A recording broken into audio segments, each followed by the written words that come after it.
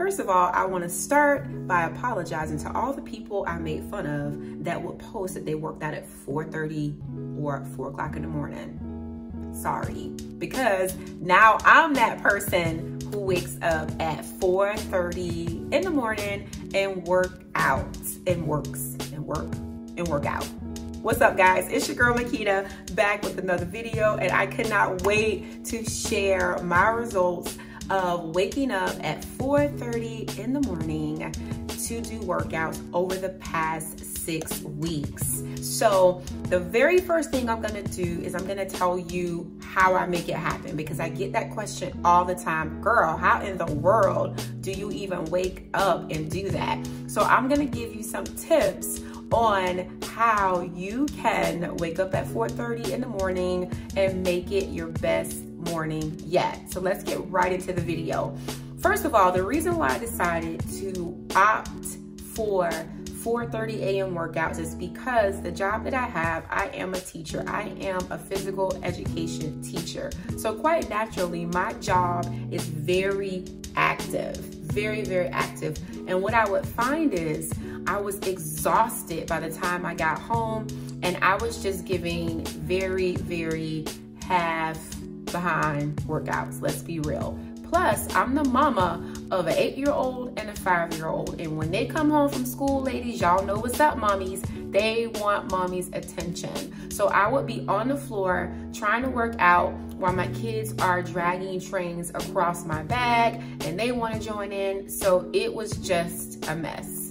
So I decided, you know what? I'm going to have to really commit to 4.30 a.m. workouts so that I can get my workout done and be able to start my day, okay? So let's get right into the tips. I need you to write these down because these are super important. Now, um, the very first tip I'm going to give you, I believe has been so key in why I have been successful in waking up at 4.30 a.m. It's because I'm not dependent on just my will alone. Sis, you got to find yourself an accountability partner and not just your girlfriend where both of y'all gonna be like, sis, you working out today? Nah, I'm not working out today. Okay, so we ain't working out today. No, not that kind of partner. You need to find an accountability partner that's going to actually hold you accountable. And for me, surprising enough, it was my fiance. I honestly did not think he would be as committed as he is, but here's the thing. Here's the secret sauce of finding an accountability partner. You gotta find an accountability partner that's a little bit competitive. Because what pushes me is that my fiance does not want me to outdo him. And I'm not trying to let him outdo me. So what that means is we will be like, are you working out? And he'll be like, are you? I'll be like, yeah. I'll be like, well, I am too.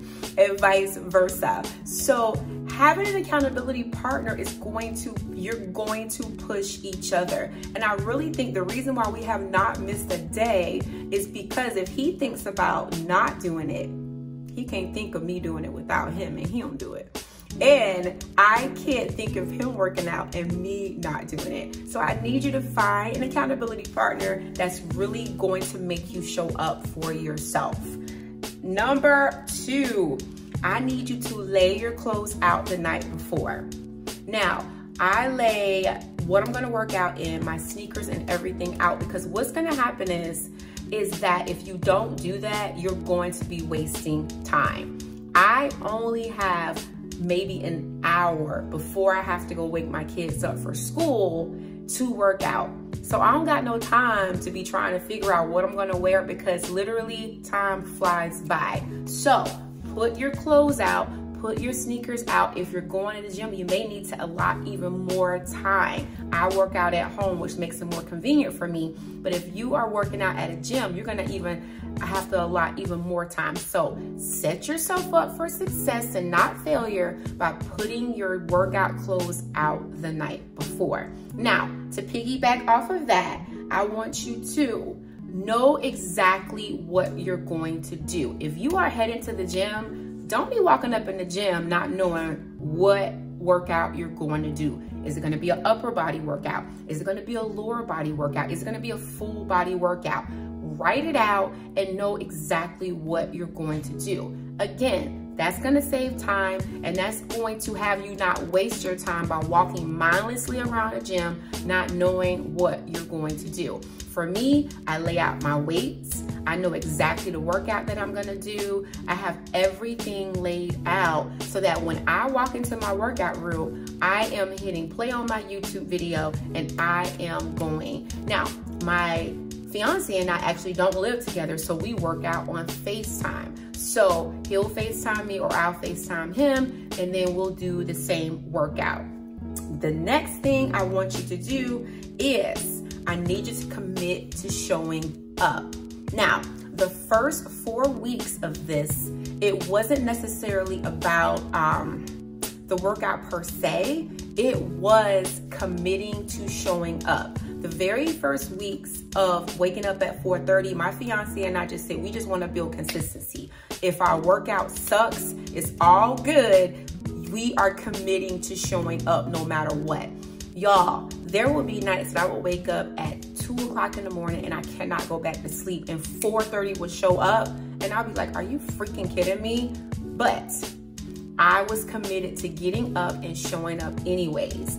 All my workouts, some of my workouts sucked because I was exhausted. However, and people may not agree with me on this, I committed to showing up and doing something even if it meant doing a 15 minute HIIT workout or a 10 minute upper body workout.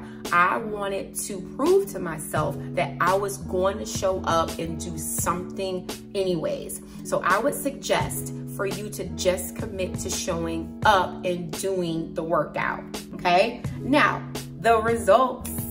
What did I get? Because let me tell you something, sis. If you keep going, the results will come. It's the lack of consistency is the reason why our results don't come. But sis, if you stay committed, you are going to get results. Now, the results that I have are, number one, I've dropped five pounds. Now, I did not go into this with a uh, cut mental mentality that I was going to lose weight. It really was about me showing up and wanting to start building muscle. But I did drop five uh, five pounds. And it's because I, I, I do focus on eating within my calorie deficit or I try to eat at least 80% whole foods in my diet. So I dropped five pounds. I gained some muscle. I can see my body changing. It's so dope. Like my abs are getting tighter. My arms are getting tighter. Like I am gaining muscle.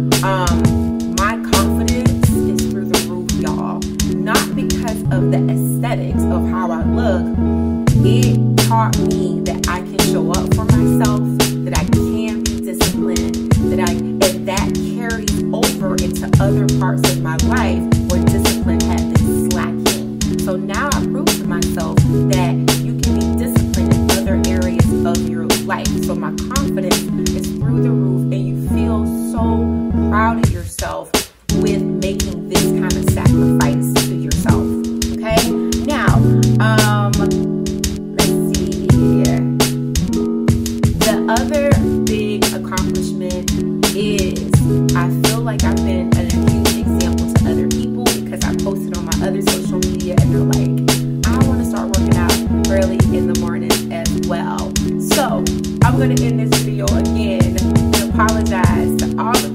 I clown, all the people I roll my eyes at, like, child, please, I ain't working up there early in the morning. Forgive me because I am an official member of the 4.30 a.m. workout club.